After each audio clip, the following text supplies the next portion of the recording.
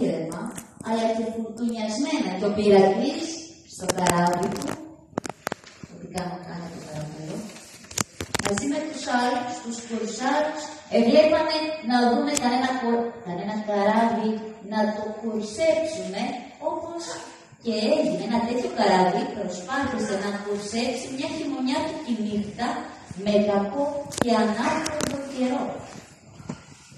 Καταλάβατε όμως.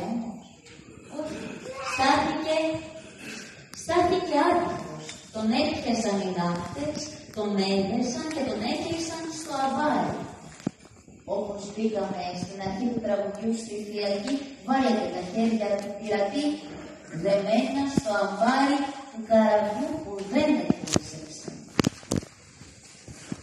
Οι σύντροφοι του πρόλαβαν να πηδήξουν στη θάλασσα και να φύγουν με τη βάρκα και αυτός έμεινε εχμάλωτος στο καράβι του ξένου.